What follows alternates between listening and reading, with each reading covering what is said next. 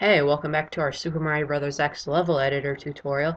This time we'll be covering um, custom flags, which can be accessed through the editor by pressing F1, and then you'll get this huge text document com that comes up that's basically just a big ol' uh, text tutorial thing, and if you scroll down quite a ways, you'll find list of NPC flags. This is what we'll be covering in this video. I've already made this video once, but it was really long and stuff, so I want to make this one shorter, so let's dive right into this, shall we? Basically what flags are, are, well, they can change an NPC. I, I'm kind of having difficulty describing them, so I'll just kind of show you. That would probably be better than me stuttering over my words trying to explain it. So, basically, what you do in order to use these is you go to the folder where your level is saved, and then you create a new text document, and then whatever NPC you would like to modify, you name it the exact same as the graphics file of that NPC. So let's say I want to edit the classic Super Mario Bros. 3 Goomba. I would type npc-1.txt. That's what I would name it. Now I'll open this up, and basically um, here's the interaction flags. Let's say I want to be able to pick up the Goomba. Well, what I would do is I would type in grab top equals 1 and grab side, not sod, equals 1. Well, well, well, what does this mean? Well, grab top is basically a flag that means you can grab the NPC, or I should say, can you grab the NPC from the top? And grab side is kind of the same. Can you grab the NPC from the side? So basically, this applies to all the interaction flags. If you type zero, then it means that it will not be able to happen. So if I put grab top equals zero, then you will not be able to grab the NPC from the top. If you put 1, then you will be able to grab it from the top. And same for all the other interaction flags. So, now jump hurt. Will Mario basically bounce on the NPC and kill it? Just for fun, I'll put jump hurt equals 0. Although, since I'm going to be making this Goomba kind of solid, that won't really matter. Now, I won't cover all of these because that's what I did last time and it made like a 25 minute video that's just excessively long. So player block and player block top, I would like those. So player block equals one, player block top equals one, and then so you know uh, Mario will treat it like a block basically. Now keep in mind that not all flags are compatible with every NPC, so you know every once in a while you might come across an NPC and a flag they just they just don't want to work together, and you know it happens, and there's not much you can do about it. Um, and I'd say that this editor help thing does a pretty good job of um, explaining what everything does. Now cliff turn, sure, I'll do cliff turn equals 1 so it doesn't fall off a cliff. Um, no, I'll keep that. No Yoshi, no Fireball, no Ice Ball. You want to get hit with fire and ice balls, Yoshi stuff. No gravity, I want to have regular gravity. Speed. So basically you put speed equals and then 1 would be its regular speed, anything below 1 would be slower, anything above 1 would be faster, 0 would be pretty much stationary. So just for fun, I'll have a Turbo Goomba, do speed equals 3, because why not? Now, score.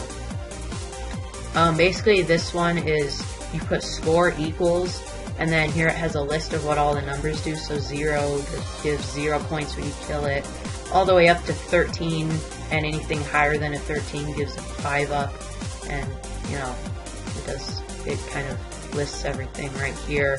And so I'll do score equals 9 because I gotta get my points and stuff, you know. Now, NPC appearance flags. I'll try to cover these a little bit more in depth because some of these may be a bit more difficult to understand than uh, interaction flags. So, foreground. If you put 1, then the NPC will be drawn in front of all other NPCs, and if you put 0, then it will um, it will not.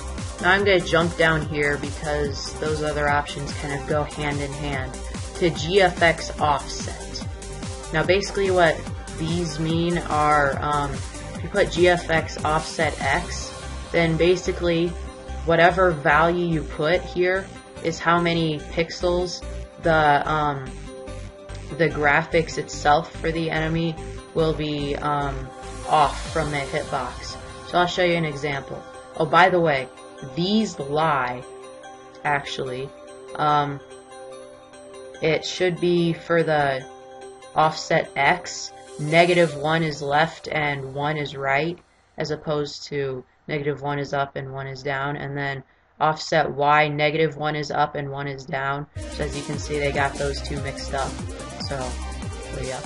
Okay, so I I really don't know why you would want to make the GFX offset. Oops. I don't know why you'd want to make the GFX offset this high.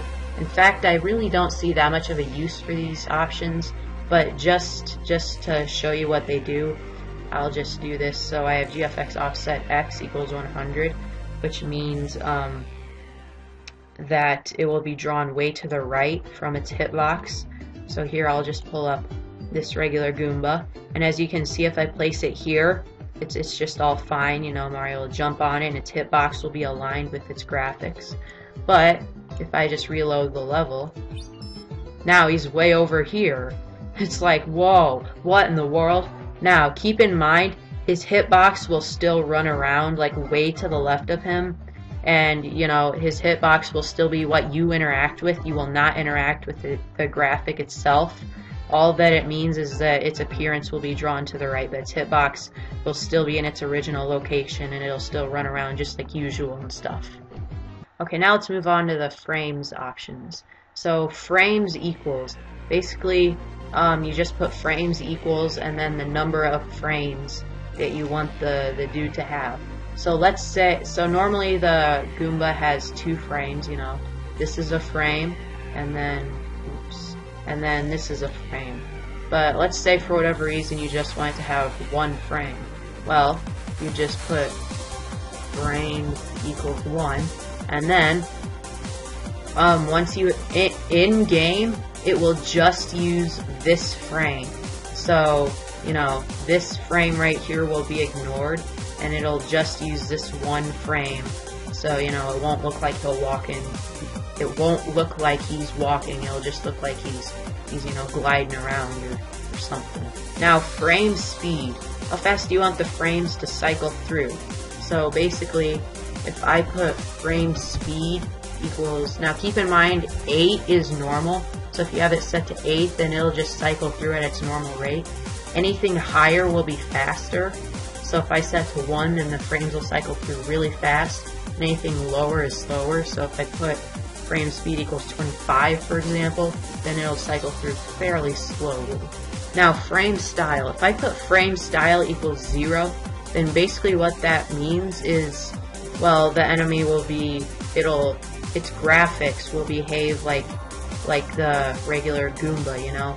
Like he'll have the same animation if he's going left than if he's going right. So it like it doesn't matter what direction he's traveling, his animation will not change. Now, if you do let's see where is it frame style equals 1, then it will use the top half of the sprite sheet for when it's going left and the bottom half of the sprite sheet for when it's going right and frame style equals 2 is basically the, the exact same as frame style equals 1, except that if you have it so that you pick up the enemy, then whenever you pick the enemy up, it will invert the graphics or it will turn the graphics upside down when you pick it up. And that's the only difference between 2 and 1. Now the width and the height option. Basically what these do is it allows you to modify the NPC's hitbox. So um, by default, the Goomba's hitbox is 32 by 32 because, you know, that's the size of his graphics, as you can see, 32 by 32. Um, and so that's the same as his hitbox. But let, let's say you want his hitbox to be two times that size. Well, you could do like width equals 64, and then his hitbox will be two times the size of his graphics. So, you know, his hitbox will extend like um, like out here even though his graphics is just here. And then the same for the height option. You can make their hitbox either bigger or smaller you know depending on whatever you set the option to. Now the GFX height and GFX width option. Basically what this does is whatever you set this to is the basically it tells it that that's the graphics that you want to appear so I'll show you an example. Let's say I type in GFX height equals 16. Well, then that will modify the frames so that for every frame, it will make, so like say for frame number one, this will be what will show up because it's 16 pixels in height. And then for frame number two, this is what will show up. Because, you know, once again, it's um, 16 pixels in height. And then, since it only has two frames, and you know each frame is 16 pixels in height, it will completely ignore the um, the rest of the of the graphics file. Now, if I set the value to bigger than the sprite sheet, then basically what will happen is let's say I set GFX height to 64. Then this will appear for one frame, but then, what about the next frame? There's no more room in the file for the next frame. Well, basically what the game does is it just uses transparency. So one frame will be this whole image, and then the next frame will just be transparency. So now, just for example, let's say you want the Goomba to have four frames, and you want each frame to be 48 pixels tall instead of 32 pixels tall. But what you do is you come here to your text file, and then put frames equals 4, and then you would do, um, yeah, you would do height equals 48, and then usually the height option modifies both the hitbox and the graphics. So if you want the graphics to be different than the hitbox, then you would have to do GFX height equals and then whatever value you want. However, sometimes that doesn't happen so I always, just because I'm me, I always do, um, I always do the graphics height option in addition to the height option, even though you probably won't need to. So next what you would need to do is, because you want each frame to be 48 pixels tall, and you want it to be 4 frames, you would just multiply 48 by 4, and that would get you 192, I think, right? 192, yeah. My math isn't that bad. And then um, what I would do is I would just select a 48 pixel area and then you would draw your first frame in here and then you would select um, the next 48 pixels area and draw the next frame in here and then just keep doing that until you get to the end of the sprite sheet and then there your four frames would be then you'd be good to go. So I'll just draw something real quick. Let's all take a moment of silence to marvel at this true beauty. This is way too silent. So yeah, I basically just um, edited the regular file and then the, the silhouette file type thing because the, if you're trying to edit an NPC, it more than likely has one of these. And so, you know, now you just save them where your level is saved with the exact same name as the NPC you're trying to replace. And then, when you reload the level, hmm, did I do something wrong? No, I checked and I actually didn't do anything wrong. But the thing is that sometimes, even if you reload the level, the graphics still look a little bit funky in the editor. So, but you know, if you like edit it and see, that guy just, he just doesn't know what's up. But yeah, he looks alright in here and I can still pick him up and stuff just like I set the flags to and, and whatnot and hmm.